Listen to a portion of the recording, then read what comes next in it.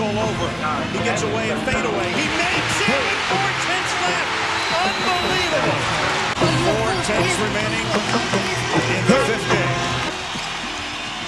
They get it to Fisher. Left hand shot from the top like who? Left hand shot from the top like Fisher. He's!